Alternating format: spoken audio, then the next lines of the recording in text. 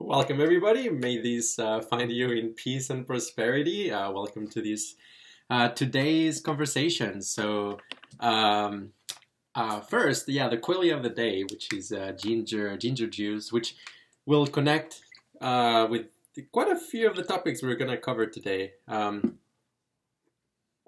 I mean, I I really like it. I mean, I really like ginger. I love um, ginger candy, ginger tea. Um, even uh, uh, ginger capsules for complicated reasons. But uh, no, I mean, recently found out you can actually get you know straight ginger juice, and I've been uh, drinking quite a bit of it. It's uh, quite a fascinating qualia.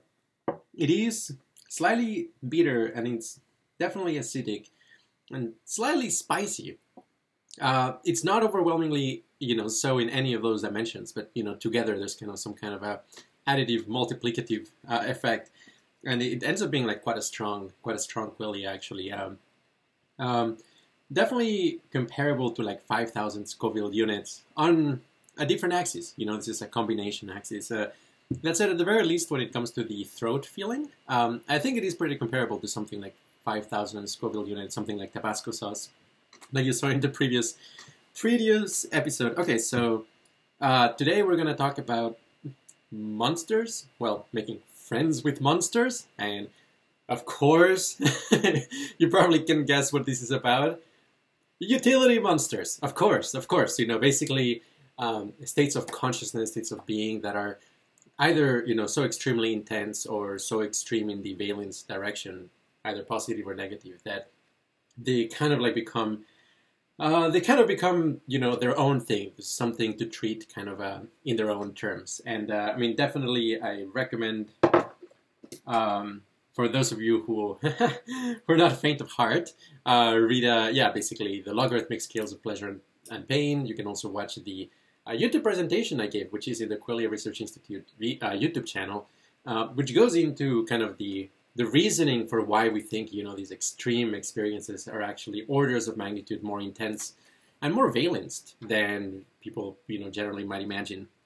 Anyhow, um, today I'm gonna be talking about yeah basically uh, a, a, few of them. Uh, I have uh, yeah basically psychedelic spaces, uh, you know super painful stuff, and also.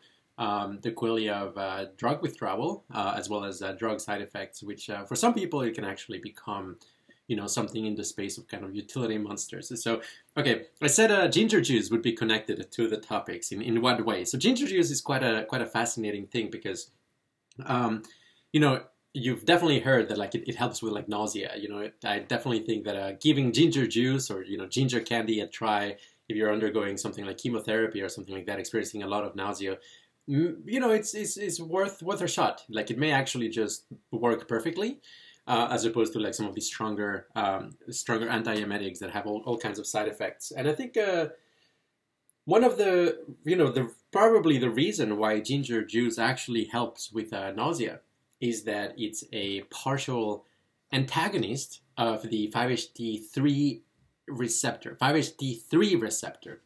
There's a lot of talk about 5-HT2 as being kind of the underlying, you know, main psychedelic uh, receptor. You know, some somebody like Thomas Ray might dispute that, might say it's the 5-HT7. Uh, there's a, a, lot of interesting, you know, work to be done in there. Um, but um, you know, 5-HT2 is clearly implicated in psychedelic actions, at least on, on, on some level, and pretty much every psychedelic, you know, has like affinity, if not, you know, uh, you know, an agonist action on 5-HT2A or 5-HT7. Um, but interestingly, a lot of psychedelics also have activity on the 5-HT3 receptor, um, such as, for example, some of the what I might call the dumb psychedelics in a sense. Uh, dumb because there's just like things that are you know better, uh, similar effects, just like basically a lot lower body load, like less nausea and cramping and you know just horrible feelings that you know you wanna you wanna die and throw up. Um, some of the examples of like psychedelics, I would say, are kind of in the in the far end of uh, just like very very bad body load. Is like 2CE, 2CT2, 2CT7, 2CP. Um, all of those, all of those phenethylamines uh, are very heavy on that, and possibly things like uh, foxymethoxy. What is it like MIPT, 5-MeO, DIPT, basically the IPTs uh, seem to also be uh, 5-HT3 agonists, and uh, and you know that's one of the crazy things. People take you know 2CE is sometimes they have these very crazy strong effect uh, with lots of nausea and lots of side effects and body load, and they go through it and they come out the other side and they reinterpret what they experienced as kind of like a karmic process of some sort, something you know they, they had like demons inside they had like they have like these like built up like you know like dissatisfaction with life or their work or partnership or you know whatever it may be and like they they they sort of like um, come out the other end and they they feel very victorious and you know they they actually acquire some kind of uh, ego attachment to the ordeal. You know they they are proud that they went through it. They actually succeeded at it. Um, and uh, and here's where you know I would definitely say something along the lines of, you know, maybe it was just the 5-HT3A or 5-HT3 agonism, and uh, I mean apparently if you drink one or two shots of ginger juice together with you know your 2CE or something like that, you will get you know the exclusive 2CE visual qualia, which is actually very different than other 2Cs, um, uh, quite a unique thing, um, without the body load. And your experience is just going to be way better. And i would claim actually just far more therapeutic and like just plain better for you you know just for your health for your happiness. Um, it's possible there's like some things you may not think about uh, because you're not suffering. And you know maybe that's a bit of a loss but you have to consider the opportunity cost. That when you are in you know an ecstatic blissful and yeah quite frankly quite bizarre experience as uh, 2ce without experiencing the body load, there's a ton to discover in that space too. I mean, it really, really, there's like a lot of opportunity cost. Like having a difficult psychedelic trip has a huge opportunity cost, which is what you missed out on by not having an ecstatic, beautiful trip, you know? And yeah, anyway, uh, I definitely want to put that out there. The other way in which, you know, ginger juice, at least this one, I'm not sure about uh, all of the others, uh, uh, is uh, how it's connected with utility monsters is um, you know one of the worst things that this has on it is like a ton of uh, vitamin C. And you know a lot of people, most people think of vitamin C as kind of like this very uh, this very benign thing. You know, there's like you know uh, Pauling, I think the the uh, Nobel chemist, uh, you know, prize winner, um, saying that like you know we should be taking 10 grams of vitamin C every day and and so on. Well, uh, here's like a pretty sad news. Uh, vitamin C uh, taken in high doses uh, over a long period of time cause kidney stones. And kidney stones is like one of the worst things that you can experience in your life. Extremely traumatizing, a horrible ordeal. Well, it's one of those things that uh, you know it's a log normal distribution um, meaning that like you know some people may experience kidney stones as just like really bad and some people may experience it as like you know basically hell um, like really quite frankly. And uh, um, yeah i mean like i don't take vitamin c supplements precisely for that reason. Um, i've calculated with a fermi estimate that you know a single you know 500 milligram vitamin c capsule uh, or, or tablet uh, contains within it approximately 0.1 seconds of expected uh, kidney stone uh, pain ordeals. I mean, making some some basic assumptions, and um, that's a ton. I mean, like over 10 days, you're likely to, you know, if you take one of those a day, a lot of people take more. Um, there's like one second of a kidney stone, um, and like the things that people would do to just have like one second of relief when they're having a kidney stone. It's just so like just so much. Anyway, it's a big topic. Uh, you know, this has some vitamin C. I think it doesn't have that much. It does say that it's 99.7% uh, ginger juice, so the remaining might be vitamin C as a uh, acidity controller, which uh, I'm fine with. It's not very much. Uh, you can definitely taste it, but anyhow, that is literally one of the reasons why I'm not drinking this whole thing on a daily basis. I am a little bit concerned though of uh, down regulating um, my 5-HT3 or like upregulating, sorry, my 5-HT3 receptors. Um, so far, so good. Like, I mean, I've had like up to like five shots of these a day, and then just like stopped. and had like no nausea as a consequence. But I, I bet if you're you know if you drink like the whole bottle of it every day, a bottle of this every day, and you completely discontinue, I bet it's gonna be like a horrible withdrawal that probably shares some quality with some kind of a opioid withdrawal. You know, similar similar story. Anyway, anyway, anyway. So, um, let's talk about uh, bad trips for a moment. You know, and it's definitely one of those things that, like, if I was on a psychedelic, uh, or if there was somebody on a psychedelic around me, I would actually just not touch the topic um, because it's, you know, it's really bad. I mean, like the negative valence of a bad psychedelic trip can be really outstandingly terrible.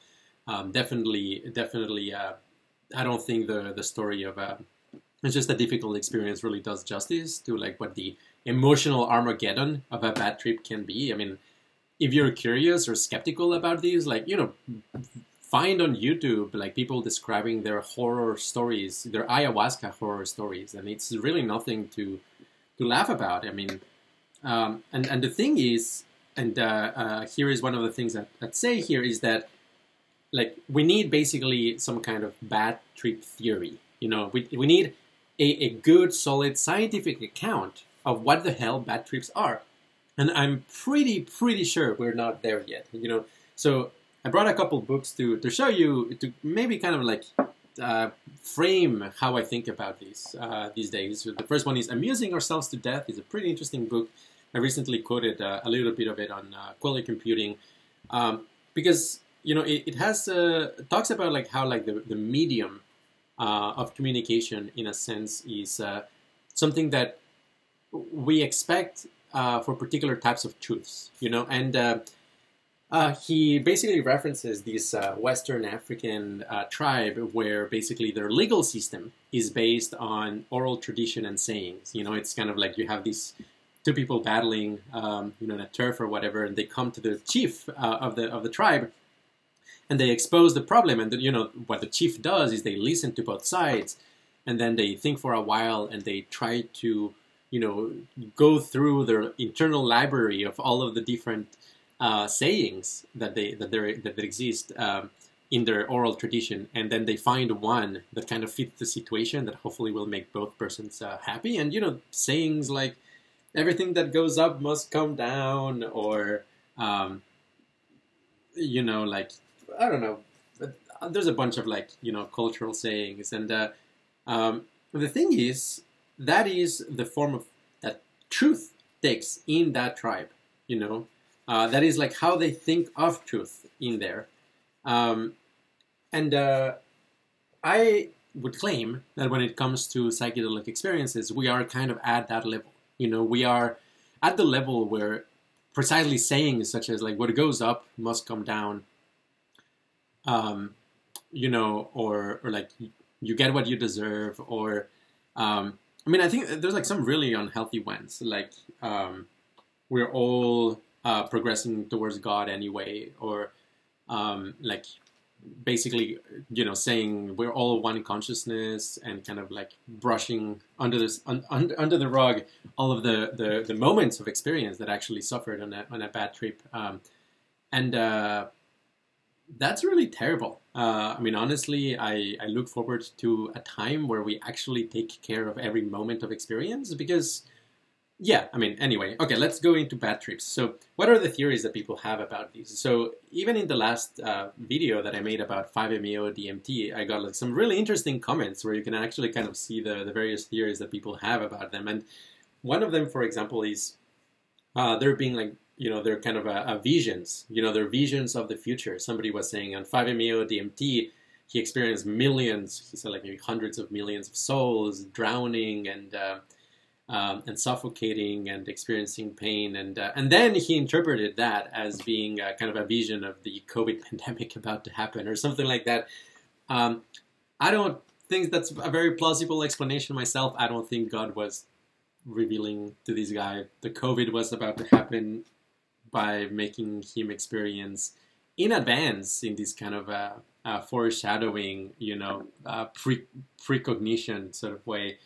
Um, uh, all the bad qualia that people are, were going to have. Like, no, no, no, no. I think like, you know, and 5-MeO DMT is one of those utility monsters. You may uh, if you take a high dose and you're not titrating over several minutes, you know, high dose and bam, like the probability of like an extremely negative experience is like significant. We're talking like at least 10%, um, deeply traumatizing and extremely negative. And here's the thing. Uh, exactly in our culture and how we think and how we process information as biological beings, highly valenced experience are, are, are, interpreted as always containing some deep truth. You know, you experience profound suffering of some sort, you will generally try to rationalize it in a way that is like ego syntonic, in a way that like vibes well with your constructed ego, uh, sense of self. So yeah, I mean, like if you have some kind of a uh, you know inclination of like thinking of yourself as a messenger for for God or something like that. Yeah, for sure, you experience a hellish state on 5-MeO DMT. Of course, that's a message. What else could it be? well, uh, other people actually think about it in terms of karma. Now, um, there's truth that on let's say 5-MeO DMT and in psychedelics in general, um, the state of consciousness gives you kind of like some very very detailed understanding of basically in what ways you're uh, storing traumas in your body, in, in your energy system, you know, and, and also how past negative experiences as well as like current addictions are shaping basically your priorities, how you how you approach the world and what you do and what you care about. Um, all of that is true, but it is not true that what goes up has to come down. It it is not true that these things actually even out perfectly. Um, and I can I can show you a, kind of an example here. I mean, like uh, I love these uh, these little toy. It's called a Rioscope, I believe. Uh, this one is a birthday gift by uh, Romeo Stevens, uh, a good friend of, of mine, and uh, basically you can study turbulent flow in this thing. It's quite a fascinating toy. Um, and basically, I think like a good 5-MeO DMT trip. Uh, I mean, I was talking on the other on the other video, is kind of combing the field, basically changing your topology such that you're able to really comb your field. Now, I think a really good positive 5-MeO DMT that is rejuvenating is one where the all the you know the energy flow of your consciousness is like this. It's kind of this laminar flow. Basically, there's no resistance and a you know a resistance-less, perfectly symmetrical laminar flow of energy, wow, you know, you experience that and you will almost certainly realize that you hadn't scratched the surface of what happiness and well-being and bliss, I mean, and spirituality could be all about. On the other hand, you know, you have some problem, either like, let's say, uh, some type of uh, intense addiction or um, like you know you just broke up with uh, with somebody or like they fired you from your job you know somebody's filing for divor- divorce or whatever. Uh, or honestly even just chronic pain in your body like something something like that. Um, well that is going to create kind of like turbulent flow. So you can think of this as like the imperfection in your nervous system and then like as the energy is trying to you know move around your nervous system yeah it's going to lead to kind of these like little eddies over here. And like that can be really extreme you know if, if you have like very high energy which you know the equivalent here would be like moving very fast. Uh, this is definitely going to be true on dmt or 5meo dmt where like whatever like is bugging you um, if it comes up again during the trip. Yeah it's going to be like this thing. It's going to be like a sore sore thumb or um, um, like a spike that is basically going to mess up your energy flow. And and here's the thing: there are basically turbulence is this kind of like a phase transition, and this connects to the other uh, big utility monster, which is uh, uh, drug side effects and, and withdrawal. Because, um, and let's say, I mean, Phenibut is one example of it. That like a lot of people take Phenibut. Um, they experience like some kind of mild relaxation and it's fine. Some other people take Phenibut, they experience profound euphoria and um, very awesome feelings of well-being, maybe even like uh, you know aphrodisiac effects, like some interesting cognitive effects. And uh, it's fine. I don't want to bash Phenibut, but the people who you know get hooked and take it every day, that is when you get to a very big problem because, in particular, I mean, like the GABA receptors. You know, they're the worst type of you know chemical dependence you could have. Um, but even then, I mean, like precisely because of this misconception of you know whatever has to go up has to come down that like withdrawing from something is kind of giving you the equivalent of negative valence that you kind of obtained before i think all of that is total nonsense i think it's just plain false that like you know a cold turkey you know phenibut withdrawal from like i don't know whatever like something insane like 20 20 grams a day I can guarantee you that the negative valence that you're going to experience there is going to be far worse than the positive valence you experienced anywhere throughout the time that you were dependent on it. Um, and I ascribe that to basically similar to a bad trip, basically a phenomenon of turbulence. That basically, yeah, if you're withdrawing a little bit, you know, if you're doing, lowering your dose like over the course of, of a long time, um, it's gonna be a little bit unpleasant. It's definitely kind of like that sore or thumb or like you know like a little sticking point or something like that. Yeah, it's gonna disrupt your energy flow, but if it's not too much, it's not gonna get to the phase transition where you end up in turbulence. And and that is the thing. Like when it comes to you know these like super turbulent states, there's no law of nature at all that says that you know the, the the books have to be balanced in any way. That's just not true. I think like you can you can get a lot of turbulence out of like relatively little you know positive valence that you got be- beforehand and vice versa. I mean like people almost it's almost like people don't like this idea because it, it makes you really confront you know fully confront the, the the falsity of the just the world theory which is this theory that basically everybody gets what they deserve, um, that you can almost certainly find a way of discontinue some, you know, something like a phenibut dependence by just like taking 0.1 gram or 0.05 grams a day less every day or maybe even every week and over the course of several years like go all the way down. And in that way you may almost possibly just not even feel the withdrawal. It's just going to be very mild. It's like so mild at no point you experience that turbulence. And I think that you know that is the adult in the room kind of uh, approach to these things. It's not you know let's face the the worst right now because yeah, it's not gonna. It's probably gonna make it worse. It's gonna traumatize you, and I'm definitely gonna say that like super intense like drug withdrawal uh, from what I've read. Um, as well as like something like a bad trip, uh, whether it's ayahuasca, LSD, or especially 5-MeO DMT, is something that can really break down your spirit. It can really hit at the core of your whole energetic system and just mess it up such that like for years you're going to experience turbulence and dissonance and something isn't quite right. And I think like that's absolutely definitely something to avoid um, at all costs.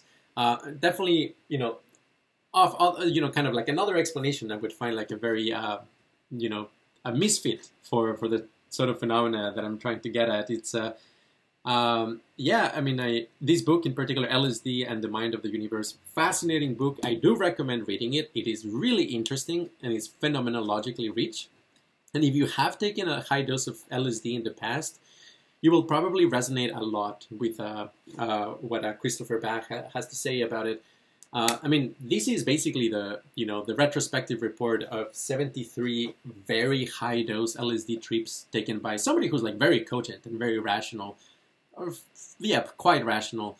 Um, but uh, yeah, I mean, basically, he he stated that you know he would take like 500 micrograms of LSD, which is zero tolerance, and uh, and experience, uh, first of all, hell realms, just extraordinarily unpleasant realms, and that for a while he thought that it was his bad karma that he was burning, but uh, at some point it was just so bad, like it just kept happening over and over again, um, that he figured out, or figured out, quote unquote, that uh, he was actually processing the bad karma of humanity. Now, if he's true, well, good he's been doing something really good for us. Like we, we definitely have something to thank uh, thank him for. He might as well just be terribly wrong. He was just experiencing these, you know, high energy turbulence effects, profound dissonance, just for no particular gain. and I honestly tend to um, tend to resonate more with that. in which case, he was turning himself into a negative utility monster over and over for no good reason. Like, let the pointlessness of, of that sink in. Uh, a lot of people do that. Like, yeah, cold turkey, phenibut, heroin, whatever, or being stupid about psychedelics. Um, yeah. Uh, okay, like what else is there to say? I, I do want to say that, you know, practically speaking, uh, I think this is part of my yeah personal a personality trait.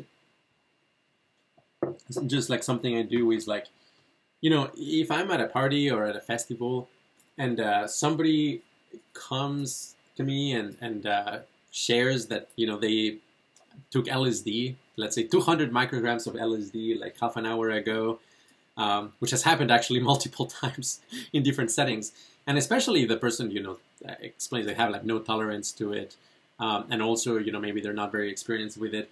I will go from a mindset of like social butterfly like party mode into kind of mom mode. Well maybe if you want to be um, you know mystical or something yeah you know trying to connect with the uh, green tara of buddhism the universal mother or something like that. Yeah i mean basically all of a sudden I real, recognize that this person is probably going to be experiencing uh, an intensity and uh, and uh, weirdness of experience they have never faced before, and that they're probably not prepared for that, and all more so that you know their friend group is almost certainly not prepared for that either. Um, even if they you know have ego constructs around it, especially if they have ego constructs uh, concerning like being tough or like taking hero doses or any of that stuff. then I really become the mom of, of this person for the next I don't know however many hours. Honestly, like uh, spontaneously or like impromptu trips at like a lot, a good number of people in these scenarios, and uh, and all of them have been very thankful for it. Um, later on, they said like, yeah, I had no idea what I was doing, and like, yeah, thank you for providing a good space. And uh, but yeah, I mean, basically, if you come up to me and you say I just 200 micrograms of LSD with no prior experience and no plans, I think of you as a utility monster. I mean, not in a uh, moral sense. It's just, yep, this is uh, something we've got to deal with now, and uh, we, you know, better set up the conditions so that like nothing terrible happens. Uh, that's basically how I think of it. Um, likewise, um, I've got to say, uh, yeah, well, one final note. This is getting too long. I will basically, um, I do think, likewise, you know, in the space of psychiatry, I do think we're kind of at the level of explanation of like what goes up has to come down, where like really actually what we need is like deep understanding of the differential equations for how, uh, you know, neurotransmitter upregulation and downregulation and interactions between them, as well as how it affects connecting specific harmonic waves and turbulence and you know the full explanation for how like effexor works or whatever it's not going to be it just lowers your dopamine levels or you know anything of that sort. Um, and uh, my understanding is that psychiatrists by and large have just not much of an insight into actually the risks of many of the medications they prescribe especially when it comes to something like antipsychotics um, you know, it used to be the case in the 60s that, you know, doctors uh, and researchers would uh, not give things to their patients that they themselves haven't tried. I almost feel that should be the case for like antipsychotics. For for um, I mean, okay, like I should absolutely mention that if you're like in an intense psychotic break, that's itself a kind of utility monster of its own type, and for sure, taking a short-acting antipsychotic can completely completely you know get rid of the utility monster quality of, of that person. Um, but uh, you know for somebody who's experiencing like garden variety depression or social anxiety it just i think profoundly unwise. Uh, not only because it will make the person anhedonic and like not particularly you know be able to experience happiness very much but actually because of the long-term consequences. In particular, I was just gonna want to mention akathisia, and akathisia is this you know inner sense of restlessness. Um, people associated first, like most of all, with uh, opioid withdrawal, uh, but also restless legs is a version of it, and uh, about like five percent of people experience it naturally throughout their lives. um, in severe form. Um, but psychiatric medications have a very very high rate of increasing the probability of like long term, permanent, irreversible akathisia. And uh, the, the the big suspects here, the common suspects are antipsychotics. First of all, I mean, I was reading some articles about the probability of you know giving you akathisia uh, for long-term treatment of antipsychotics is between 30 and 60 percent, which is insane for you know a, a, such a horrible condition to have. Um, benzos, you know, long-term benzo medication, and I would mention also, yeah, other things of that sort, like uh, Phenibut. What was the other? Uh, gabapentin, like things of that sort. Um, yeah, or you know, jo- Jordan Peterson. He was on uh, Klonopin uh, for for several years, and it got to the point that like he was experiencing. Uh, yeah, I mean, basically, benzos are just so bad for your nervous system, like they're like neurotoxic. Um, that um, it's it's actually one of those cases where um, the euphoria that you get from them uh, is you know maybe one tenth of the negatives that uh, comes from them, uh, especially with long term use.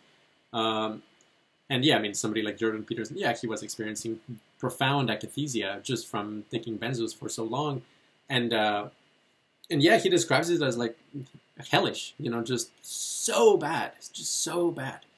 Um, and uh, SSRIs, apparently, about like 10% of people who are prescribed SSRIs uh, develop akathisia. Again, like, yeah, I mean, like, I wouldn't, I wouldn't roll a dice of like having one in 10 chance of developing this condition in the long term. Um, for most of the conditions for which SSRIs are prescribed, I do not think is worth it. And uh, I really think there has yet to be a definitive cost benefit analysis uh, grounded on the experience of like actual users over the course of decades. And I suspect that a, a, a hedonic accounting of of that type of medication will come out very much in the red, if not in the black. Um, just overall tremendously negative. Only a subset of people like generally benefit from them, and I think it's kind of like a, the luck of the draw at that point. Um, one last thing I wanted to say is that yeah, this whole idea of what goes up has to come down. I think um, we will have a complete revolution of our understanding of uh, basically like the you know neural correlates of consciousness in, in the in the future, and especially connected with a hedonic tone. That there's like some fascinating indicators such as basically ibogaine um, that shows that basically you can reverse something like opioid tolerance, uh, even long-term opioid tolerance from even hardcore opioids like heroin or something. You can basically, you, you know, you don't even need the crazy psychedelic effects where you feel that you're, you know, confronted with all the bad that you've done in your life, which may or may not be necessary. I don't know, but probably not. Um, apparently, even if you just take microdoses, you know, subhallucinogenic microdoses, um, for people who, for example, experience chronic pain, you can lower the dose of opioids over the course of um, a month or so by also combining it with a, with a low dose ibogaine, where basically you can reduce the dose by like 90% and still get the same the same pain relieving benefits. Um, and that's like ibogaine, which is like this natural product, just like not optimized for this purpose, and it's also a crazy psychedelic that you know interesting in its own way. But I suspect I would actually bet on this that in the near future we will actually find drugs that profoundly reverse uh, tolerance to all kinds of uh, other drugs. Um, where, for example, you may go into a clinic uh, when you're experiencing benzo withdrawal, and uh, and just completely no ha- not have any benzo withdrawal at all all of a sudden. And like not have any cognitive impairment as a consequence not feel weird or anything. And uh, over the course of maybe a month or so just being able to discontinue that treatment and just have no opioid no opioid no benzo withdrawal at all. I'm very very i don't know i'm pretty confident this is coming and that there are like actually some really really good research threads specific molecules that are like pointing in that direction um, so yeah, no need to uh, be moralizing. No need to be uh, uh, have kind of these like childish uh, mindsets about uh, theories of how these substances work. Anyhow, I do believe to wrap up that um, yeah, when we're talking about psychedelics, we're talking about you know extreme pain or extreme bliss uh, for that matter. When we're talking about like drug with like intense work, drug withdrawal, we're, we're talk, talking about like any of these things that we might classify as utility monsters. You know, orders of magnitude more pain or pleasure. Pretty much everywhere that I've looked at, uh, people really seem like toddlers when it comes to like how to handle these and you know for the most part including myself i'm just pointing this out i'm not necessarily better better at it but uh yeah i mean just like trying to guess you know say something like uh your bad trip was because of i don't know a childhood trauma that you had like just ask you know just think that that's the case that's the full explanation yeah sorry no that's that's a yeah, that's just not the level of complexity needed for uh, for understanding these. Um, uh, we really need uh, the adult in the room, and that's why I will reiterate. Um, please, please, please, please, please, please, don't, you know, take 5-MeO DMT in a shamanic setting. Like people who administer it, for the most part, again, they're toddlers, like playing with the, you know, the medicine cabinet. Just have no idea what they're doing. Um, if you're really interested in it and you're like you know psychologically robust, um, I would recommend again like taking very small doses first, uh, acclimatizing to it, and if you want to experiment with a larger dose, I would titrate it over the course of several minutes, basically taking like one or two milligrams at a time. And with that slow buildup, basically the, I think like the envelope of the, the intensity of the experience will not have this sharp peak where most of the super negative stuff tends to tends to happen. Um, I actually envision, you know, 5-MeO DMT clinics, like the really legit ones in the future, are going to actually probably preload you with some other substances. Um, like Phenibut actually comes to mind. No, but like honestly, other things like perhaps like you know uh, 5-HT3A antagonists. Like honestly, that's another one. Um, and basically give you like an infusion of 5-MeO DMT over the course of like 20 minutes, precisely dosed and at a very, very precise schedule that is like very soft, almost kind of this sigmoidal, sigmoidal curve, uh, pretty flat, so it's like, you know, pretty flat slope, but uh, still a little bit of a, anyway, sigmoidal, wavy, wavy kind of like dose schedule. And I suspect that is going to be just far more blissful, far more therapeutic, far more beneficial than any of these other, you know, shamanic ways of administering it. And I don't mean to to make it clinical at all. I mean, I think like you know, beautiful images and and a really you know, uh, welcoming, uh, open heart kind of environment will absolutely be essential. I just don't believe that you know your um, average you know self-described shaman knows what they're doing. No, no, no, no, not at all. There's like several levels of you know complexity that needs to be climbed before we we really know what what we're doing with these things. Um, anyway, take care of yourself. Take care of your moments of experience, and uh, may you find happiness. Thank you for tuning in.